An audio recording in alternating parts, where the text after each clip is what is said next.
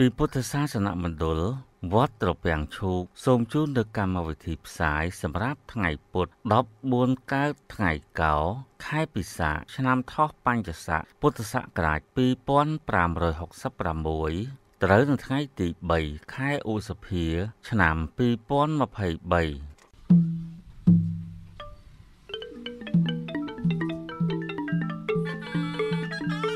2023សូមចម្រើនពរ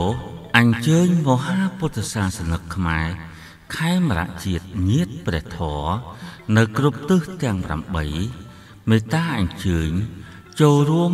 ក្នុងពិធីបុណ្យវិសាខបូជា ដែលនឹងប្រព្រឹត្តទៅ នៅថ្ងៃប្រហោះ15កើតពេញបរមីខែពិសាត្រូវនៅថ្ងៃទី4ខែឧសភា ឆ្នាំ2023 ដែលនឹងប្រារព្ធធ្វើនៅគ្រប់បណ្ដាវត្តអារាមនានាក្នុងព្រះរាជាណាចក្រកម្ពុជាដោយឡែកវត្តត្រពាំងឈូកសស108សង្កាត់សំរោងក្រោមខណ្ឌពោធិ៍សែនជ័យរាជធានីភ្នំពេញ ដែលស្ថិតនៅតាមបណ្ដោយផ្លូវទំនប់កប់ស្រូវនឹងត្រូវប្រារព្ធធ្វើពិធីបុណ្យវិសាខបូជានេះ នៅវេលាម៉ោង6ល្ងាចពិធីដង្ហែគ្រឿងប្រទីបជ្វាលា ថ្វាយចំពោះព្រះរតនត្រ័យនិងវេគ្រឿងសក្ការៈបន្ទាប់មក ប្រកាសវិសាខបូជាសូត្រធម៌បទនៅក្នុងសួនឧទ្យានវេលវ័នព្រះអង្គធំ ខាងលិចព្រះវិហារត្រង់រហូតទល់ចប់សូមបញ្ជាក់ជូនថា វិសាខបូជានេះ ប្រារព្ធធ្វើឡើង ដើម្បីរំលឹកដល់ថ្ងៃដែលព្រះសម្មាសម្ពុទ្ធទ្រង់ប្រសូតចាកព្រះគរនៃប្រវោមេដាទី2ថ្ងៃ15កើតខែពិសាខនេះដែរជាថ្ងៃដែលព្រះសម្មាសម្ពុទ្ធទ្រង់បានត្រាស់ដឹងនៅអនុត្តរសម្មាសម្ពោធិញ្ញាណក្រោមលុបពោធិព្រឹកនិងទី3ថ្ងៃ15កើតខែពិសាខនេះ ជាថ្ងៃប្រារព្ធរំលឹកដល់ទិវា ដែលព្រះមានព្រះភិក្ខជាម្ចាស់ស្ដេចទ្រង់រំលត់ខណ្ឌយាងចូលកាន់ព្រះបរមនិព្វាន នៅក្រោមដើមសាលព្រឹកទាំងគូចិត្តក្រុងកុសិនារាដូច្នេះយើងជាពុទ្ធបរិស័ទត្រូវតែនាំគ្នាគោរពបូជា រំលឹកដល់ទិវាសំខាន់សំខាន់ទាំង3គឺប្រសូតត្រាស់ដឹងនិងចូលបរិនិព្វាននេះឲ្យបានគ្រប់គ្រប់គ្នាស័កសមទៅនឹងនាមថា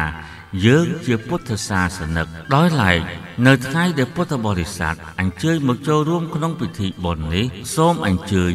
មកទស្សនាដោយផ្ទាល់ភ្នែកនៅព្រះពុទ្ធបដិមាទ្រង់ផ្ទុំបណ្ដោយ18ម៉ែត្រដែលសាងពីថ្មភក់ស្ថិតនៅខាងត្បូងព្រះវិហារត្រង់តម្កល់លើទីរតនបល្ល័ង្កព្រះតេនសយនាក្រឡាព្រះបន្ទុំ ដែលក្រុមវិចិត្រកបានដាប់ឆ្លាក់សម្រេចបាន ប្រមាណជា 90ភាគរយហើយបើញោមញាតព្រះធរចង់ចូលរួមក្នុងការកសាងព្រះពុទ្ធបដិមា ឬរតនបល្ល័ង្កនេះអ្វីដែលពុទ្ធបរិស័ទអាចចូលរួមបាននោះ គឺ1ការចូលដាប់ឆ្លាក់ព្រះពុទ្ធបដិមាមួយឈ្មោះ150ដុល្លារនៅខ្វះចំនួន131ព្រះនាមនិងឈ្មោះទៀតឯការចូលកសាងរតនបល្ល័ង្ក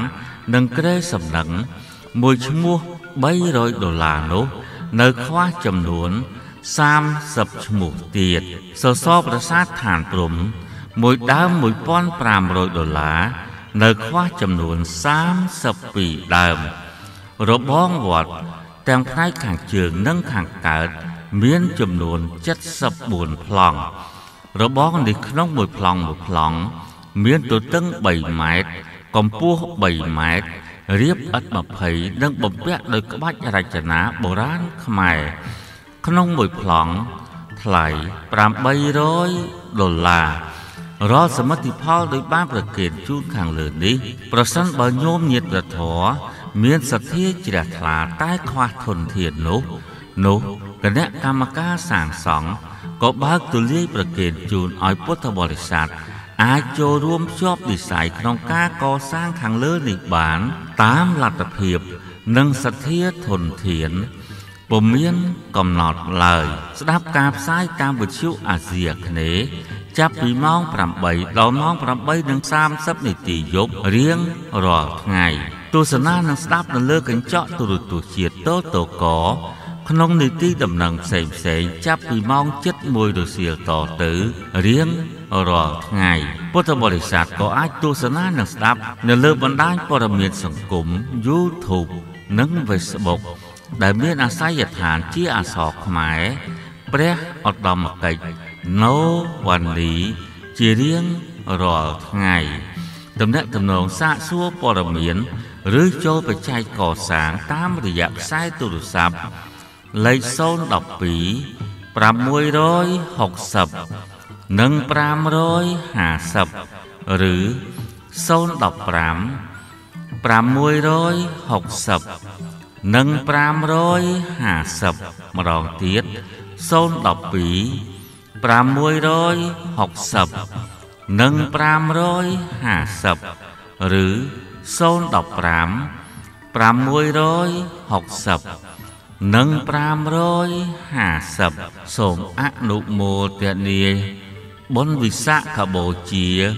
និងចូលរួមចូលកសាងព្រះពុទ្ធបដិមាទ្រង់ផ្ទុំសាងពីថ្មភក់បណ្ដោយ18ម៉ែត្រក្នុងវត្តត្រពាំងឈូកគ្រប់គ្រប់ព្រះអង្គនិងគ្រប់គ្រប់គ្នាសូមអរព្រះគុណនិងសូមអរគុណ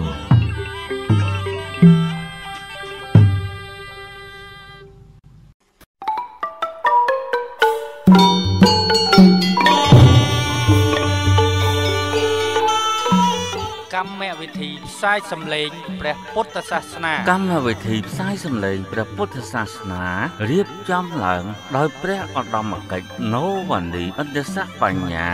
តែងតែបានលើកយកនៅកម្រងខ្សែសម្លេងព្រះត្រៃបិដកខ្មែរដែលមានការទទួលស្គាល់និងចុះបញ្ជីការជាផ្លូវការនៅក្រសួងធម្មការនិងសាសនាជាតិនៃព្រះរាជាណាចក្រកម្ពុជា យកមកចាក់ផ្សាយប្រកេតជូនសិក្ខាកាមកុលបុត្រដើម្បីសិក្សាព្រះសម្ដាប់និងស្ដាប់រយៈពេលជាង15ឆ្នាំកន្លង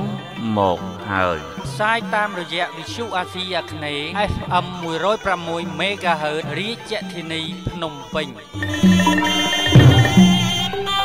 ទូលព្រះបង្គំសូមក្រាបនមស្ការថ្វាយបង្គំ ចំពោះប្រជុំ3នៃព្រះត្រៃរតដោយសេចក្តីគោរពកោតក្រែងនិងជ្រះថ្លាទុកស្មើដោយជីវិតសពសពកាលសូមក្រាបនមស្ការជារួមចំពោះព្រះសម្មាទេសង្ឃនៅទូទាំងសកលលោកទាំងមូលជាទីសក្ការៈនិងជាទីរាប់អានដ៏ខ្ពង់ខ្ពស់សូមចម្រើនពរចំពោះមហាពុទ្ធសាសនិកខ្មែរខេមរៈជាតិញាតព្រះធរជាអ្នកស្ដាប់ នៅទាំងក្នុងនិងក្រៅព្រះរាជាណាចក្រកម្ពុជាទាំងមូល ជាទីនឹករលឹក និងជាទីរាប់អានដ៏ជ្រាលជ្រៅជាកិច្ចខាងដើមនេះសូមអារាធនានិមន្តនិងអញ្ជើញពុទ្ធបរិស័ទតាមដានព្រះសដាប់ស្ដាប់ និងសិក្សាជាមួយនឹងនីតិសិក្សានៅព្រះគម្ពីរព្រះត្រៃបិដកខ្មែរតាមច្បាប់ដើមដោយមានខ្លឹមសារទាំងស្រុងខាងក្រោមនេះអ្នកប្រាថ្នានៅប្រយោជន៍ដល់ខ្ញុំខ្ញុំនឹងធ្វើតាមពាក្យរបស់អ្នកអ្នកជាអាចារ្យរបស់ខ្ញុំខ្ញុំសូមដល់នៅព្រះពុទ្ធជាទីរលឹកផងសូមដល់នៅព្រះធម៌ជាទីរលឹកផងសូមដល់នៅព្រះសង្ឃជាបញ្ញខេតដ៏ប្រសើរ របស់ជននិងទេវតាជាទីរលឹកផងខ្ញុំវាចាកការសម្លាប់សត្វយ៉ាងឆាប់ផងវាបងនៅការកាន់យកទ្រព្យដែលគេមិនបានឲ្យក្នុងលោកផងមិនផឹកទឹកស្រវឹងមិនពោលពាក្យកុហកផងសន្តោសដោយប្រពន្ធរបស់ខ្លួនផងខានចប់មត្ថគុណៈលិវិមានទី9ខានសូមអនុមោទនីខ្សែរឿងទី84សេរីសកវិមានទី10 ធម្មសង្គីហកថាយទាំងឡាយសម្ដែងថា ការប្រជុំនៃទេវតានិងពាណិជ្ជទាំងឡាយឯដល់ផ្លូវព្រៃណា ក្នុងកាលណាកាលនោះអ្នកទាំងឡាយចូលស្ដាប់ពាក្យបញ្ចូលថ្មីនៅការប្រជុំឯដល់ផ្លូវក្នុងព្រៃនោះចុះបិទអ្នកទាំងអស់គ្នាចូលស្ដាប់នៅភាសិតនោះដោយប្រការដោយបណិចផង ដោយប្រការដតីផង ស្ដេចណា ព្រះនាមបាយាសិបានទៅកើតជាមួយនឹងភូមិទេវតាទាំងឡាយជាអ្នកមានយសស្ដេចនោះរីករាយក្នុងវិមានរបស់ខ្លួន លោកមិនមែនជាមនុស្សទេ តែបានពោលនឹងពួកមនុស្សខណ្ឌតពលលេខ177វិមានវត្ថុទេវបុត្រពោលថានេមនុស្សទាំងឡាយអ្នកភ័យចំពោះផ្លូវវាចអ្នកមានចិត្តខូចហើយវងកញ្ចក់បើកបិទវងវែងផ្លូវក្នុងព្រៃជាទីរង្គៀស ជាកន្លែងត្រាច់ទៅនៃអមនុស្សជាផ្លូវកន្តារៈឥតមានទឹកឥតមានបាយពាក់កណ្ដាលនៃព្រៃធំ ដែលបកគោលដើរទៅបាន ដោយកម្រណាស់ផ្លែឈើនិងមើមឈើទាំងឡាយក្នុងផ្លូវកន្តារៈនេះមិនមានទេវត្ថុសម្រាប់ដុតឲ្យឆេះក៏មិនមានភិក្ខាតើនឹងមានមកពីណាក្នុងផ្លូវខ្សាច់នេះ វាលែងតែអាចដីនិងដីខ្សាច់ទាំងឡាយដ៏ក្តៅក្រហាយកាចអាក្រក់ចេញ ទីនេះជាទីទួលក្តៅប្រកបស្មើដោយអំបែងដែកដ៏ក្តៅមិនមានសេចក្តីចម្រើន ស្មើដោយបរៈលោក គឺនរកផែនដីនេះ ជាទីនៅនៃពួកបិសាចអាក្រក់ជារបស់ចាស់ប្រទេសនៃផែនដីប្រកបស្មើដោយប្រទេស ដែលពួកអេសីផ្ដាសាហើយក៏អ្នកទាំងឡាយប្រាថ្នារបស់អ្វីដោយហេតុដោយបណ្ឌិតបានជាចូលមកកាន់ប្រទេសនេះមិនពិចារណា វងកញ្ចក់រោគទោសនិងអានិសង្សបិទដោយរហ័សសិនឬមួយអ្នកទាំងឡាយចូលមកកាន់ប្រទេសនេះព្រោះលោភៈឬព្រោះភ័យឬព្រោះវង្វេងផ្លូវខណ្ឌទំព័រលេខ178សតន្តបិដកខតកនិកាយវិមានវត្ថុពួកពាណិជ្ជនិយាយថាយើងទាំងឡាយជាពួកឈ្មួញរទេះក្នុងដែនមគធៈនិងដែនអង្គៈបានទុកទ្រព្យសម្បត្តិជាច្រើន ពួកយើងទាំងនោះទៅកាន់ប្រទេសឈ្មោះសន្ធុនិងប្រទេសឈ្មោះសាវិរៈត្រូវការដោយទ្រព្យប្រាថ្នានៅការចំណេញมันអាចនឹងអត់ទ្រាំសម្រេចគំលាននឹងក្នុងវេលាថ្ងៃបានក៏រំពឹងរកសេចក្តីអនុគ្រោះដល់សត្វសម្រាប់ទឹមទាំងឡាយវងកញ្ចក់មានគោជាដើមបិទយើងទាំងអស់គ្នាមកដោយប្រញាប់នោះ ពួកយើងទាំងនោះ ដើរទៅកាន់ផ្លូវក្នុងវេលាយប់ក្នុងកាលមិនគួរពួកយើងទាំងនោះដើរទៅខុសផ្លូវក៏វង្វេងផ្លូវវិលវល់ដោយមនុស្សខ្វាក់វិលវល់នៅត្រង់កណ្ដាលនៃព្រៃធំជាព្រៃដែលគេកម្រោកឆ្លងបានដោយងាយមានចិត្តវង្វេងមិនដឹងទិសវងកញ្ចក់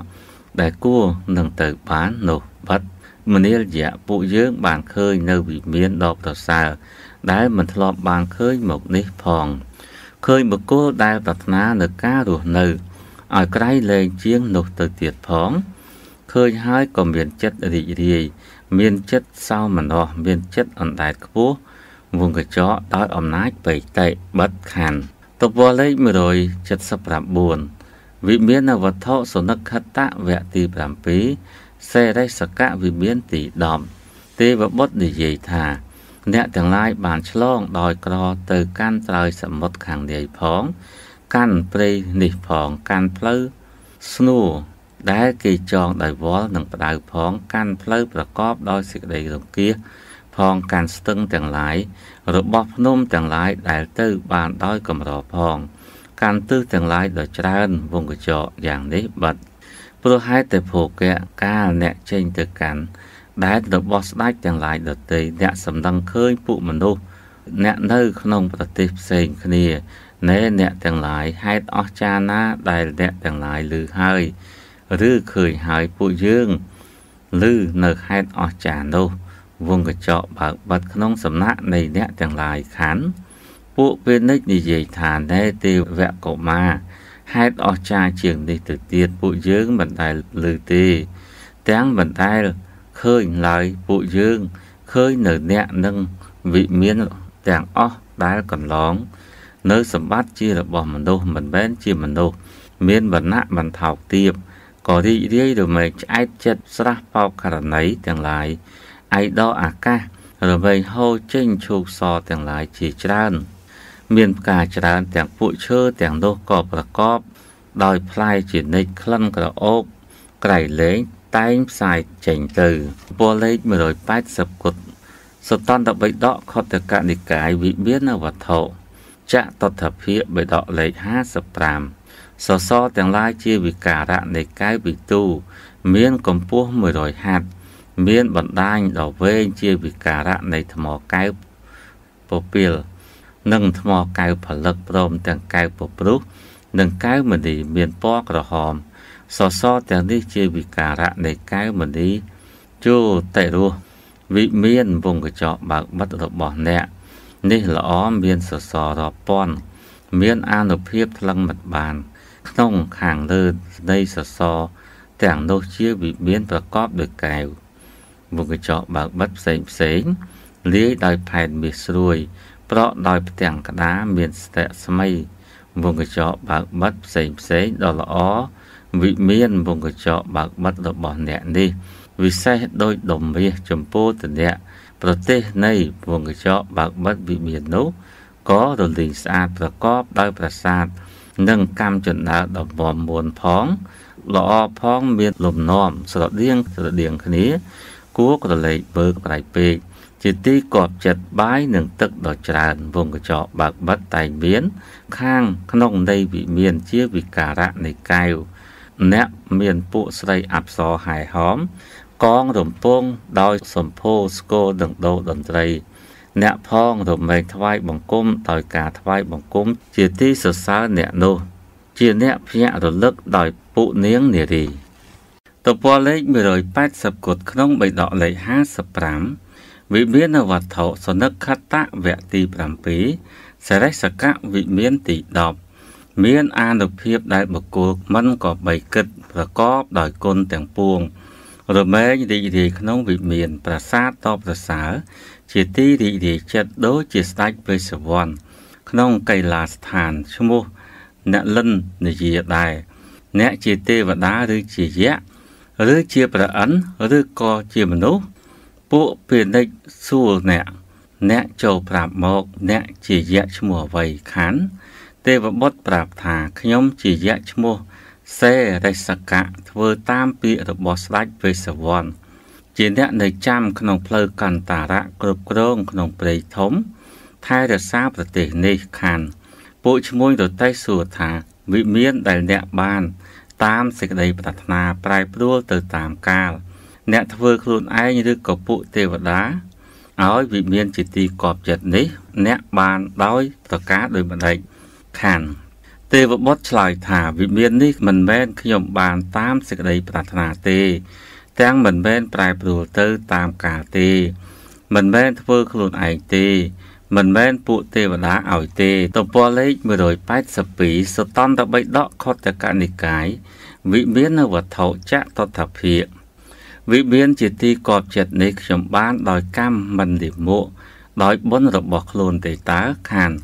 អ្នកឈ្មោះរតេះសួរថាវត្តរបស់អ្នកតើដោយម្ដេចមួយទៀតព្រមចរិយៈរបស់អ្នកតើដោយម្ដេចនេះជាផលនៃកម្មដោយម្ដេចដែលអ្នកសន្សំល្អហើយវិមាននេះ អ្នកបានដោយប្រការដោយម្ដេចខានទេវបុត្រឆ្លើយថាដើមឡើយខ្ញុំឈ្មោះបាយាសិសោយរាជក្នុងដែនកោសលក្នុងកាលណា ខ្ញុំជាអ្នកមានណដ្ឋិកៈទិដ្ឋិផង មានសេចក្តីកំដាញ់ស្វិតស្វាញផង មានបាបធរផង ជាឧឆេតវាទីផង ក្នុងកាលនោះមានសមណៈឈ្មោះកុមារកាសពជាពហុសោតមានសម្ដីដ៏វិចិត្រលើសលប់ក្នុងកាលនោះព្រះថេរៈនោះបានសម្ដែងធម្មកថាចំពោះខ្ញុំ បានដកភើចចោលនៅ ចម្រងគឺទិដ្ឋិរបស់ខ្ញុំ លោកខ្ញុំស្ដាប់ធម្មកថារបស់លោកហើយបានបញ្ញាខ្លួនជាឧបាសកវាចាក់បាណាតិបាតផង វាបងការកាន់យកទ្រពដែលគេមិនបានឲ្យក្នុងលោកផងទំព័រលេខ183វិមានវត្ថុសនិកខតៈវគ្គទី7សេរិសកៈវិមានទី10មិនផឹកទឹកស្រវឹងមិនពោលពាក្យកុហកផង ជាអ្នកត្រេកអរត្រឹមតែប្រពន្ធរបស់ខ្លួន នោះជាវត្តរបស់ខ្ញុំ ជាព្រមចរិយៈរបស់ខ្ញុំ នេះជាផលនៃកម្មនោះ ដែលខ្ញុំសន្សំល្អហើយវិមានដែលខ្ញុំបានហើយនេះ ដោយបញ្ញកម្មនេះឯងជាអំពើមិនលិមកខានពួកពេនិចពោលថា បានឮមកថាពួកនរជន អ្នកប្រកបដោយបញ្ញាតែងពោលតែពាក្យពិតពាក្យរបស់បណ្ឌិតទាំងឡាយមិនឃ្លៀងឃ្លាត បុគ្គលអ្នកមានបញ្ញកម្មទៅក្នុងទីណាណា ប្រាថ្នាបានតាមចំណងរមែងរីករាយក្នុងទីនោះនោះសេចក្តីសោកនិងសេចក្តីខ្សឹកខ្សួល ការសម្លាប់ការចោកនិងសេចក្តីសៅមងគ្រប់យ៉ាង មាននៅក្នុងទីណាណាបុគ្គលមានកម្មដ៏លិមុនៅក្នុងទីនោះនោះ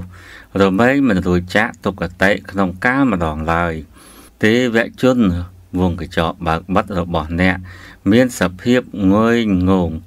ដូចជាទឹកល្អក់ដែលកើតអំពីភក់ក្នុងមួយស្របក់នេះទេវកុមារសេចក្តីទូលមនោះកើតមានដល់ជនជាបរិស័ទនេះផងដល់អ្នកផងតើព្រោះហេតុដូចម្ដេចណខណ្ឌទំព័រលេខ184សតន្តបិដកខុទ្ទកនិកាយវិមានវត្ថុទេវបុត្រពោលថាណែអ្នកទាំងឡាយក្លិនទឹកទាំងឡាយ ក្រអូបឈ្ងុយឈ្ងប់រមែងផ្សាយចេញ អំពីព្រៃច្រេះក្លិនទាំងនោះតែងអប់វិមាននេះកុំចាត់បងនៅងងឹតទាំងថ្ងៃទាំងយប់ផ្កាក្រពុំមួយមួយនៃដើមច្រេះទាំងនេះ តែងលៀនចេញអំពីតងដោយការកន្លងទៅ100ឆ្នាំ ចំនួន100ឆ្នាំ របស់មនុស្សកន្លងទៅហើយខ្ញុំមកកើតក្នុងទេវវិមាននេះ ក្នុងទេវនិកាយណែអ្នកទាំងឡាយ ណែអ្នកទាំងឡាយលោកខ្ញុំស្ថិតនៅក្នុងវិមាននេះអស់កំណត់500ឆ្នាំទៅហើយនឹងឈុតដោយអស់អាយុផង ដោយអស់បុណ្យផងទើបខ្ញុំជ្រប់ស្រពោនដោយសេចក្តីសោកស្ដាយនោះឯងខានពួកពាណិជ្ជបាននិយាយថា ទេវបុត្រនោះអំបាលបាននៅវិមានវងកញ្ចក់បើកបិទដ៏ល្អមិនអាចថ្លឹងបានអស់កាលយូរហើយ ម្ដេចក៏នៅសោយសោកចំណងបើពួកទេវបុត្រណា ដែលកើតក្នុងវិមាន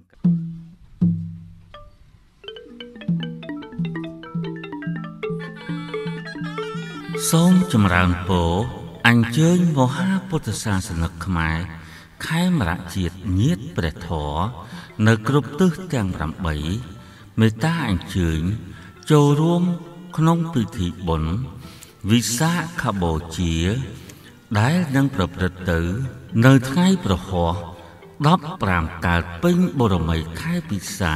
ត្រូវនៅថ្ងៃទី4ខែឧសភា ឆ្នាំ2023ដែលនឹងប្រារព្ធធ្វើ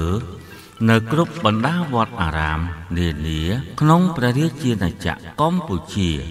ដោយឡែកវត្តត្រពាំងឈូកសស108 សង្កាត់សំរោងក្រោមខណ្ឌពោធិ៍សែនជ័យរាជធានីភ្នំពេញ ដែលស្ថិតនៅតាមបណ្ដោយផ្លូវទំនប់កប់ស្រូវនឹងត្រូវប្រារព្ធធ្វើពិធីបុណ្យវិសាខបូជានេះ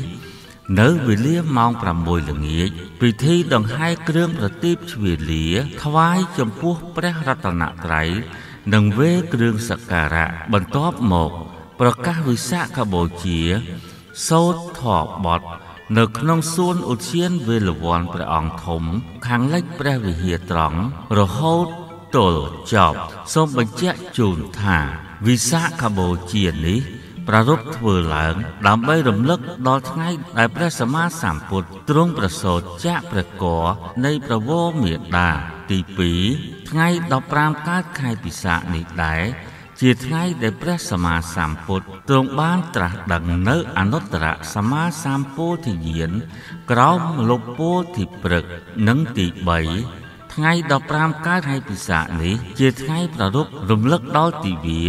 ដែលព្រះមានព្រះភិក្ខជាម្ចាស់ស្ដេចទ្រង់រំលត់ខណ្ឌយាងចូលកាន់ព្រះបរមនិព្វាន នៅក្រោមដើមសាលព្រឹកទាំងគូចិត្តក្រុងកុសិនារា ដូច្នេះយើងជាពុទ្ធបរិស័ទត្រូវតែនាំគ្នាគោរពបូជា រំលឹកដល់ទិវាសំខាន់សំខាន់ទាំង3គឺប្រសូតត្រាស់ដឹងនិងចូលបរិនិព្វាននេះឲ្យបានគ្រប់គ្រប់គ្នាស័កសមទៅនឹងនាមថាយើងជាពុទ្ធសាសនិកដោយឡែកនៅថ្ងៃដែលពុទ្ធបរិស័ទអញ្ជើញមកចូលរួមក្នុងពិធីបុណ្យនេះសូមអញ្ជើញ មកទស្សនាដោយផ្ទាល់ភ្នែកនៅព្រះពុទ្ធបដិមាទ្រង់ផ្ទុំបណ្ដោយ18ម៉ែត្រដែលសាងពីថ្មភក់ស្ថិតនៅខាងត្បូងព្រះវិហារត្រង់តម្កល់លើទីរតនបល្ល័ង្កព្រះតេនសយនាក្រឡាព្រះបន្ទុំ ដែលក្រុមវិចិត្រកោបានដាប់ឆ្លាក់សម្រេចបាន ប្រមាណជា90ភាគរយហើយបើញោមញាតព្រះធរចង់ចូលរួមក្នុងការកសាងព្រះពុទ្ធបដិមា ឬរតនបល្ល័ង្កនេះអ្វីដែលពុទ្ធបរិស័ទអាចចូលរួមបាននោះគឺ1ការចូលដាប់ឆ្លាក់ព្រះពុទ្ធបដិមាមួយឈ្មោះ150ដុល្លារនៅខ្វះចំនួន131ព្រះនាមនិងឈ្មោះទៀតឯការចូលកសាងរតនបល្ល័ង្កនិងក្រែសំណឹងមួយឈ្មោះ300ដុល្លារនោះនៅខ្វះចំនួន 30ឈ្មោះទៀតសសរប្រាសាទឋានព្រំមួយដើម1500ដុល្លារនៅខ្វះចំនួន32ដើម របងវត្តទាំងផ្នែកខាងជើងនិងខាងកើតមានចំនួន74ប្លង់របងនេះក្នុងមួយប្លង់មួយប្លង់មានទទឹង3ម៉ែត្រកម្ពស់3ម៉ែត្ររៀបឥត20និងបំពាក់ដោយក្បាច់រចនាបុរាណខ្មែរ ក្នុងមួយប្លង់ថ្លៃ800ដុល្លាររាល់សមិទ្ធផលដោយបានប្រកេតជូនខាងលើនេះ ប្រសិនបើញោមញាតិធរមានសទ្ធាជ្រះថ្លាតែខ្វះធនធាននោះ នោះគណៈកម្មការសាងសង់ក៏បើកទូលាយប្រកេតជូនឲ្យពុទ្ធបរិស័ទអាចចូលរួមភ្ជាប់វិស័យក្នុងការកសាងខាងលើនេះបាន តាមលទ្ធភាព និងសទ្ធាធនធាន ពុំមានកំណត់ឡើយ ស្ដាប់ការផ្សាយតាមវិទ្យុអាស៊ីអាគ្នេយ៍ចាប់ពីម៉ោង8ដល់ម៉ោង8:30នាទីយប់រៀងរាល់ថ្ងៃទស្សនានិងស្ដាប់នៅលើកញ្ចក់ទូរទស្សន៍ជាតិតតកក្នុងនីតិដំណឹងផ្សេងផ្សេងចាប់ពីម៉ោង7:01រសៀលតទៅរៀងរាល់ថ្ងៃពុទ្ធបរិស័ទក៏អាចទស្សនានិងស្ដាប់ នៅលើបណ្ដាញព័ត៌មានសង្គម YouTube និង Facebook ដែលមានអាស័យដ្ឋានជាអក្សរខ្មែរព្រះឧត្តមកិច្ចណូវ៉ាន់លីជារៀងរាល់ថ្ងៃតំណាក់តំណងសាកសួរព័ត៌មានឬចូលបច្ចេកកសាងតាមរយៈខ្សែទូរស័ព្ទលេខ012 660និង550ឬ015 660 និង550ម្ដងទៀត012 660និង550ឬ015 660និង550សូមអនុមោទនាបុណ្យវិសាខបូជានិងចូលរួមចូលកសាងព្រះពុទ្ធបដិមាទ្រង់ផ្ទុំសាងពីថ្មភក់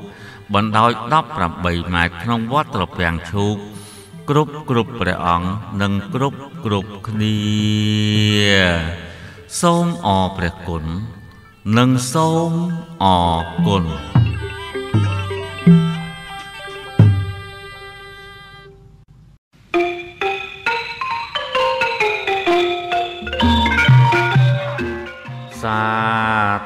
សាធុមហា ពុទ្ធសាសនិកខ្មែរខេមរៈជាតិញាតិប្រធរជាអ្នកស្ដាប់នៅទូទាំងព្រះរាជាណាចក្រកម្ពុជាទាំងមូលជាទីសក្ការៈនិងជាទីរាប់អានដ៏ខ្ពង់ខ្ពស់កម្មវិធីផ្សាយសម្លេងព្រះពុទ្ធសាសនានីតិសិក្សានៅគម្ពីរព្រះត្រៃបិដកខ្មែរតាមច្បាប់ដើមដោយនីតិរបស់យើងបានឈានចូលមកដល់ទីបញ្ចប់ហើយនោះកម្មវិធីផ្សាយសម្លេងព្រះពុទ្ធសាសនាសូមលំអោនកាយក្រាបនមស្ការថ្វាយបង្គំលានិងសូមចម្រើនពរលាឃ្លាតចាកពីសោតន្ទ្រីយារម្មណ៍នៃមហាពុទ្ធបរិស័ទជាអ្នកស្ដាប់តែត្រឹមប៉ុណ្ណេះសិនចុះនីតិយើងសូមសន្យាថានឹងវិលមកជួបគ្នាសាជាថ្មីម្ដងទៀតនៅថ្ងៃស្អែកតាមពេលវេលានិងម៉ោងដដែលសូមពុទ្ធបរិស័ទបានប្រកបដោយនៅព្រះពុទ្ធពរទាំង4ប្រការគឺអាយុវណ្ណៈសុខៈនិងពលៈកុំបីឃ្លៀងឃ្លាតឡើយសូមអរព្រះគុណ និងសូមអរគុណសូមអនុមោទនា